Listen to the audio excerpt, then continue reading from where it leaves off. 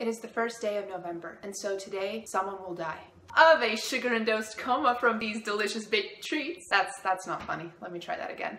Hello beautiful people, my name is Vendi and we are officially doing volume two of Bookie Cookin'. Yeah, remember how five months ago I said I was gonna do like a series of baking videos on this channel? Yeah, we're doing it again, finally, starting today. Let it suffice to say that it's fall, my house is lacking baked goods, and I want to rectify that while also creating some quality content for you guys. As you may have guessed from that awful, awful insensitive intro, today we are going to be making November cakes from Maggie Stiefvater's The Scorpio Races. Now, I'm a long-term Maggie Stiefvater fan, like ride or die, been there since the beginning, and I'm talking like before Shiver. I've enjoyed her books for forever, and The Scorpio Races might just be one of my favorite books, and it's definitely my favorite Maggie Stiefvater book. If you don't know what The Scorpio Races is about, it follows a girl called Puck. She and her two older brothers live as orphans on this island of Thisbe, where every year in November, the Scorpio races take place. These races aren't as fun and games as regular horse races because they are done with riders riding on top the backs of water horses called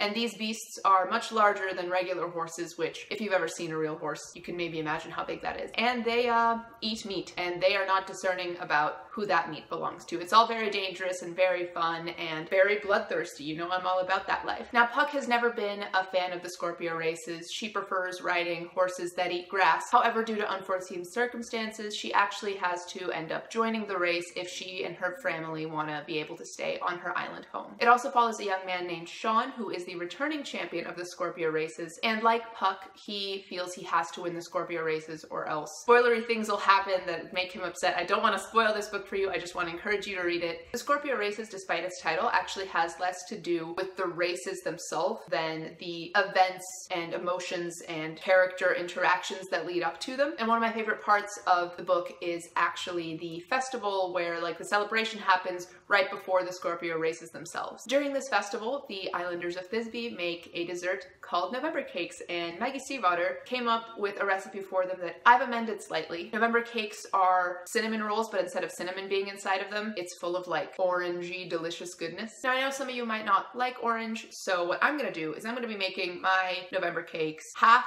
proper November cakes and half cinnamon rolls. I'll get to the difficult part where I'm splitting up the filling later. For now, I'm gonna show you how to make the cakes themselves. So without further ado, let's get started. To make the cake part of November cakes, you will need some milk. I use whole milk because it's my preference. I'm pretty sure you could do any kind, like 2% or skim if you prefer that instead. Some water, which I'm not including here because it's a relatively small amount. You'll see it when I actually make them. Some yeast, a tablespoon of butter, two large eggs, some some vegetable oil. I'm using canola. Your favorite all-purpose flour, some sugar, and a little bit of salt. Once you have all of your ingredients, you are ready to begin making your cake mixture. The first thing you want to do before anything else is to preheat your oven to about 100 degrees, maybe even a little less just to get it kind of warm. If it's as cold for you guys as it is for me, then leaving the dough to sit and rise for an hour is not going to be easy to do at room temperature. So keeping your oven warmed to a relatively low temperature will give you a good place to let your dough sit while it rises. The first thing you need to do to make your November cake mixture is to find yourself a glass bowl. This one actually might be too small. Hold on. Yeah, that's better. Whenever you're making a dough that's gonna rise, better safe than sorry. This thing might be massive, but at least I know that it won't overflow. Anyway, what you wanna do is to take your glass microwave safe bowl and put in one fourth cup and two tablespoons of your vegetable oil, one tablespoon of butter, half a cup of water, and one cup of milk. Now, I recommend keeping the rest of your butter out because because you will need it for the later steps for the filling. Once you've got this like fatty, milky mixture made, you're gonna put it in the microwave for about a minute.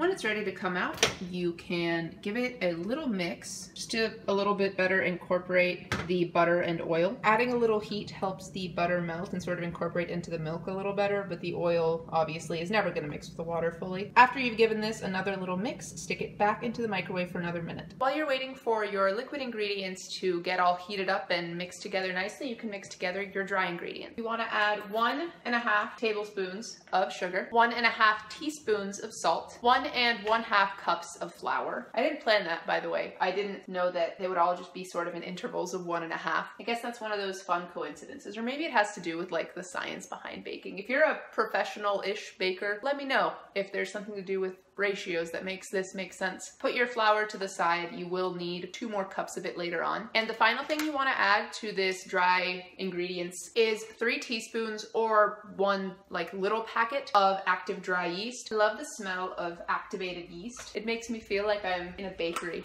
and I love the smell and taste of bakery goods. You want to give this mixture, this little bad boy, a whisk so that all of the dry ingredients mix together well. You're going to be putting it all into your liquid ingredients pretty soon, so it's best if it kind of doesn't go in one by one, no? Again, not a professional baker here. I make no claims to knowing what I'm doing at any point in time. And yeah, when that's all mixed together, you want to just kind of set it to the side because you'll need it in just a minute. By this point in time, your liquid mixture should be out of the oven to sort of get it back to that uniform consistency. Give it another stir. And then what you want to do is to take your two eggs and crack it into this mixture. Mm. Okay, that's one. No shell, no shell. Ah, no shell inside, please.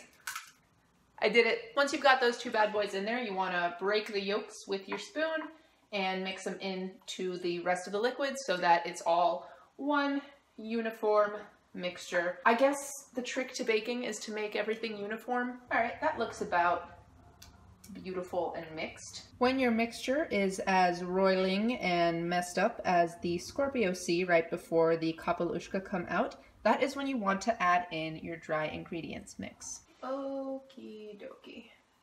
Again, in no way am I a professional, but I found that adding dry ingredients into wet ones a little bit at a time helps me from getting a super lumpy mixture and a lumpy dough no one wants a lumpy dough. It's kind of icky if it's lumpy. So while we got a little bit of time, let me tell you a couple things about the Scorpio races. So while I was talking to you guys about the like mini brief synopsis about the Scorpio races, I mentioned that our main character is a girl named Puck. Her real name is actually Kate. She's the middle child of the Connolly family. She has an older brother and a younger brother. The reason that they live alone is that their parents died when they were fairly young. Thisbe, the island that they live on, is pretty small. It's kind of like a small town, except the entire island is the town. So they kind of have like a little bit of community support, but the Connollys, and especially Puck, who is a very prickly girl, and you guys know that I love that in my lady characters, sort of keep to themselves. And the problem with essentially children living alone is that it's very hard for most children to make any sort of income. Puck's older brother Gabe does basically all of it for the whole of the family. Puck is about, how old is she, 16, 17? It's been a long time since I've read the Scorpio races. I'll have to reread it before the sequel, The Scorpio Sea, comes out. But I digress. Gabe keeps his little siblings fed and clothed all by himself, and as you can imagine, that's pretty taxing on one person who's little more than a child himself. Oh, it's beginning. It's starting to smell yeasty. The yeast is activated. I didn't kill it. Oh, also, the heating up of the milk, water, butter, oil mixture was to give the yeast something to eat so that it could wake up and turn this into a dough that will rise and spread and become beautiful for making November cakes slash cinnamon rolls. If your mixture is too hot, it will kill the yeast, and if your mixture is not hot enough, the yeast won't wake up in the first place. So you gotta get that balance just right. I find that splitting up the heating um, into two one minute intervals is a beautiful way of making sure that your heat is consistent and just about right. All right, that is all the dry ingredients added in, but we still need to add about two cups of flour to this mixture to get it into a proper dough because right now it's kind of a very loose batter, kind of like pancake batter, but with yeast in it. I don't think you'd want to do that in your pancakes. So I added in about half a cup at a time. So, I'm sorry that I keep going away from the topic. Basically, the island is, like any small town, something that very much depends on the outside world for money, and the problem with Thisbe as a town is the only time outside money and like tourism really comes in is during this one month of the year for the Scorpio races because it's like a novelty thing. It's their thing. It's when the murdery water horses come out. And the murdery water horses, yes, are very much a Thisbe staple. They only exist in the Scorpio Sea, which is the body of water that surrounds the island of Thisbe. So our man Gabe decides he kind of wants to abandon the family home on the island and try to find a job in the mainland. And it's a tough decision because he and the Connollys, like the family's always lived on the island. They're one of Thisbe's like oldest families, but it's just becoming not very viable for them to stay here.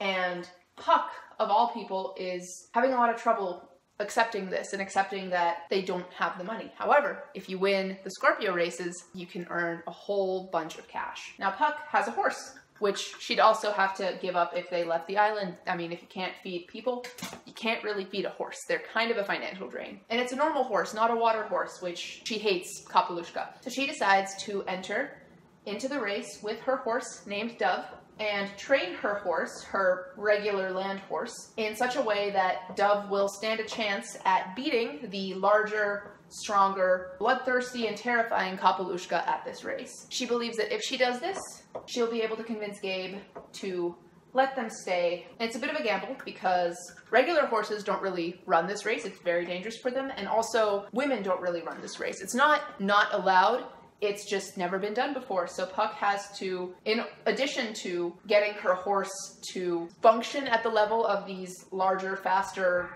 demon beasts from the water, she also has to deal with the gross sexism of her male competitors. So that's enough about Puck.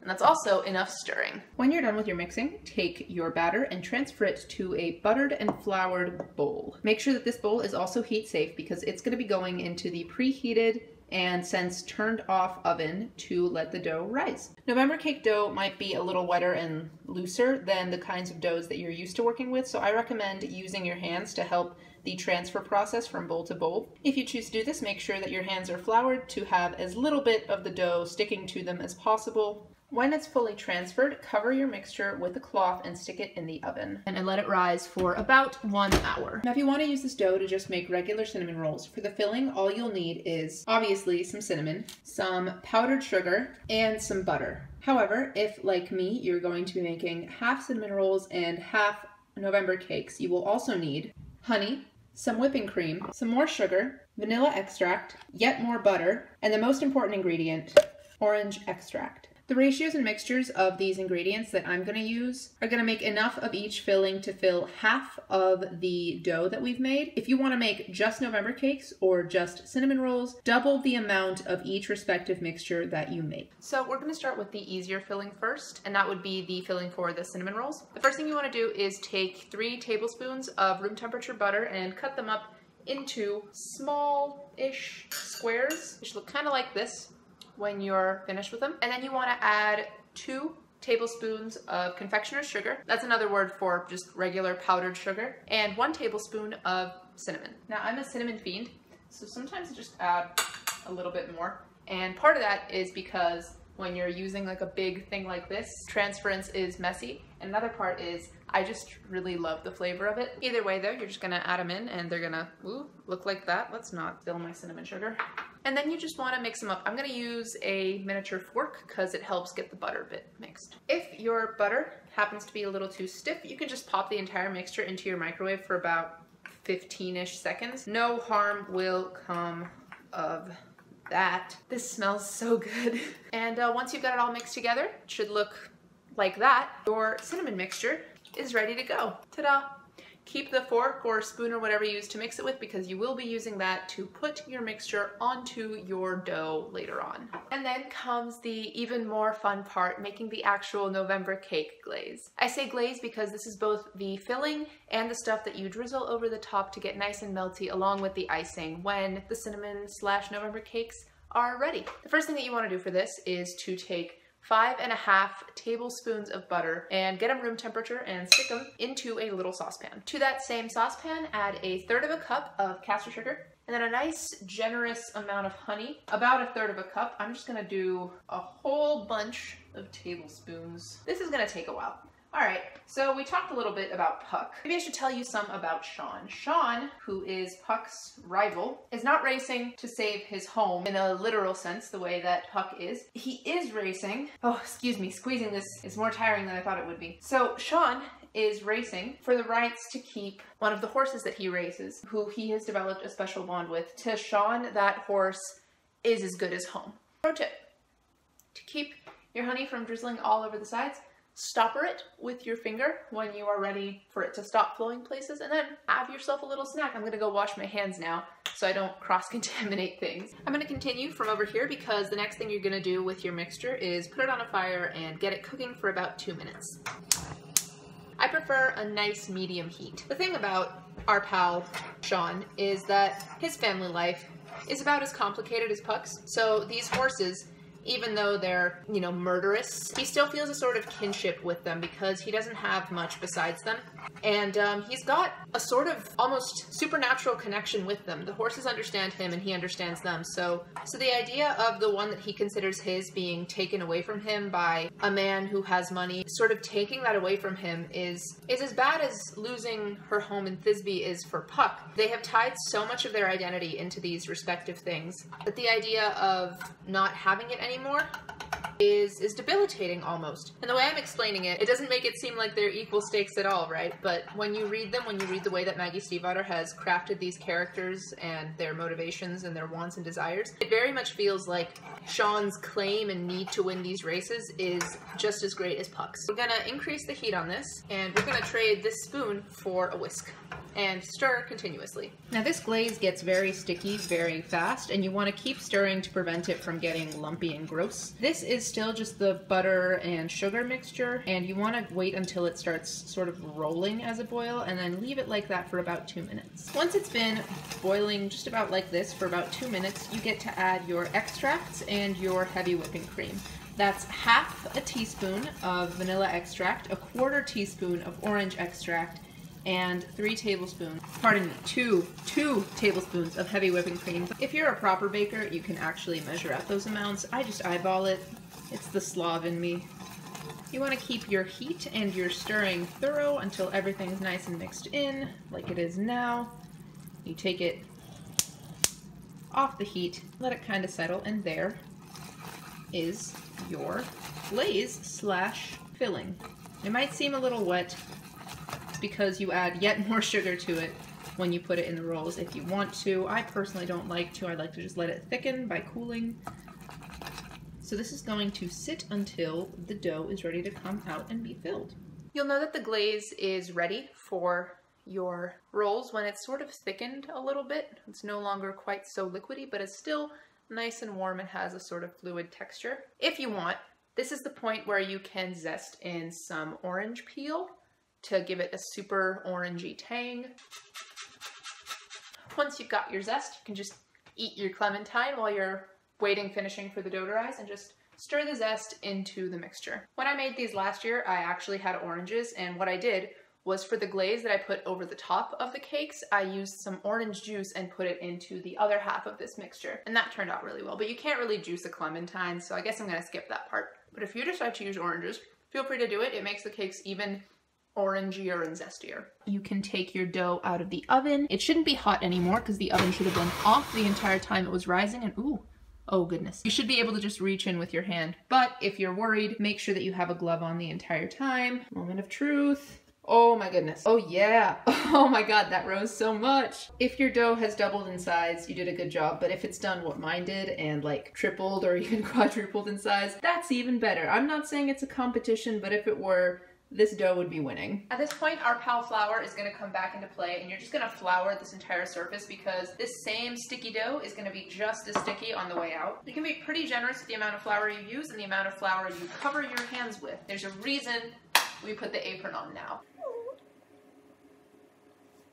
It was so nice and warm in this bowl that it just doesn't want to let go of it, and I completely understand. These cold winter months, you just want to curl up with something warm. Once you've gotten your dough out here, can knead it a little. And I guess since we're here, doing this pretty repetitive task, I can talk to you a little bit about what really tends to be my favorite part of any Maggie Stiefvater book, and that is the setting and atmosphere. You guys know I'm a character-driven kind of girl, and Maggie Stiefvater books tend to be character-driven kind of books, but I think part of their charm is that the settings they take place in, which are all kind of like our world, but not really, almost magical realistic. Anyway, all of these settings tend to become kind of characters of their own. Thisbe, the land and the sort of magic tied with it, you begin to sort of see it as your own home while you're reading it. You can tell why Puck doesn't want to leave. You can tell why Sean feels so rooted to his horses and to this island. And you can totally understand why all these tourists come from all over to see the spectacle that is these races. Maggie Stiefvater has this very atmospheric way of writing. She said that when she writes, she sort of visualizes the whole thing in her head, kind of like a movie. And I think that really comes through. You really feel like you can see and hear and taste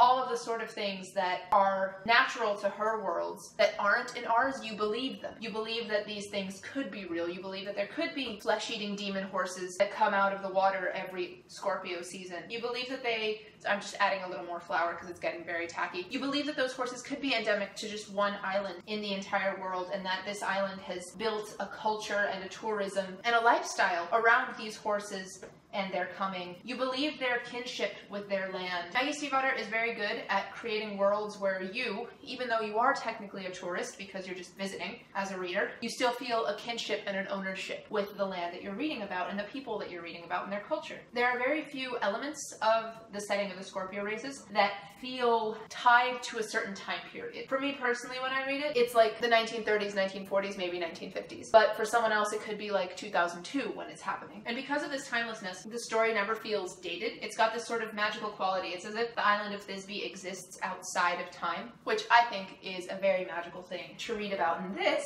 is Joppa, just about where I want it to be in terms of size. What you really want the end result of this process to be is a rectangle that's about 12 inches by 20 inches long. So if you'd like to, you could cut the dough in half and then do cinnamon on one half of the dough and then the November cake filling on the other half of the dough. But what I like to do is sort of mix it all together and have the cinnamon roll filling just go out to about here and then the November cake filling to go from that middle ground outward. The middle cakes, the ones in that sort of neutral territory, get both the cinnamon and the orange filling and the combination is fantastic. So if you wanted to mix both of these fillings, you totally could. I'm putting down the cinnamon roll filling first, and I like these filled very, very well. So I make sure that I get every little scoop of that buttery, cinnamony goodness. Spread that sucker down. For this other half, you just take your goopy November cake orange glaze mixture, spread that sucker right on top too. When it's ready for rolling, your mixture should look kind of like this where this is obviously the line that you would have split the dough down if you were making two separate batches. So you start at this top end and you flip the clean dough down. Make sure to pinch off any like excess flour and clumps and you slowly and tightly roll down the whole long end. It'll get harder as you go probably because the dough does like to be sticky, but eventually you will have one kind of log on your countertop that you can then slice into place and stick into a greased pan. I have buttered this pan. I'm going to put it right up here and begin adding in my beautiful roll. Flour your butter knife because this is sticky and then just start chopping. Get your little roll, stick it in your pan, keep on doing this until you've run out of roll. You can give the rolls a little bit of space in the pan because before you bake them, you are going to let them rise again. You might have surmised by now that making these rolls is a bit of a labor of love. I think that that's the case with most like traditional festival foods. I like that Maggie Stiefvater has created a recipe and that she's acknowledged that fans want to be immersed in the series that she's created. Time for some more flour on you. You'll have to regularly reflour your knife because it will get very, very sticky. Also, the way that I'm cutting these is I'm making them about an inch thick uh, widthwise. You can cut them as thick or as thin as you want. It will affect bake time slightly, and I'm not a pro enough of a baker to let you know in what ways and how much. So just keep that in mind when you're cutting your own. God, I always forget how sticky the uh, November cake half of it is. That glaze, man, it'll get you every single time. So this is how mine turned out, where this half, the left half, is very clearly the cinnamon roll half, and the right half is very clearly the November cake half. So what I'm gonna do with these is I'm gonna cover them with another cloth for exactly 30 minutes so they can rise some more, and then we're gonna bake these bad boys. So while those sit in there for half an hour, I'm gonna clean my kitchen and listen to my boyfriend make fun of the name of this series. Apparently Bookie Cookin sounds like some Italian mobster being super cute about his tax fraud. I didn't think of that. Hopefully you guys didn't think of that, but there we are. 30 minutes later, preheat your oven to 400 degrees and pull those suckers out of it. Okay, moment of truth. Oh, I love it. I love what bread does when you let it do its own thing. These bad boys are gonna be so delicious. I can't wait to eat them. But we're on the final stretch now. While the oven is preheating to put them in, I'm going to show you guys how to make the icing that'll top the cinnamon rolls. And that one is honestly the easiest part. You take a tablespoon and a half of unsalted butter. So you stick it in a little heat safe bowl and ooh, yeah, test it with a spoon. Mine's a little stiff, so I'm gonna stick it in the microwave. So I just stuck it in the microwave and I figured why not just melt it? So here we have a teaspoon, no, a tablespoon and a half of melted butter. And to that, we're just gonna add about two to three tablespoons of confectioner's sugar or powdered sugar. The amount of sugar you add literally just affects how thick your eventual glaze is going to be. I prefer to make mine with a little more sugar, which turns into a little bit of a stiffer mixture at the start, but when you spoon it onto the, um, the cinnamon rolls themselves, the heat of the freshly baked rolls melts the icing very nicely. Also, add a tablespoon of warm water. So that awful joke I made at the start about somebody dying of um, a heart attack induced by a sugar coma. Yeah, that was in reference to the massive, massive amounts of butter and sugar in this recipe. These are not treats you want to make every week. I mean, if you want to, I'm not going to judge you. It's just not something that I personally can do with my time crunch. And also, I mean, I just, I couldn't do it. These are very much for other people, more so than myself. Luckily, I have a boyfriend that likes to eat. Looks just about ready, and the preheating is just about done. So I'm gonna put this away next to the orange glaze that's gonna go over the November cakes, and we are gonna put these bad boys into bake. And finally, after all this time, our little cinnamon rolls are ready to go into the oven, where they're going to live for 10 to 15 minutes. While you're waiting for them to finish up, you can um, practice riding a horse, or you can practice not getting eaten by that same horse. So my oven says this is the end, but really, this, oh, is only the beginning. They need to stay in for a little bit longer. I am happy with how much they've puffed up though. So sometimes you get bamboozled by your oven and by cook times and you have to let your delicious pastries sit in the oven for a couple extra minutes. If that is the case, don't feel bad. Just adjust, improvise, adapt, overcome.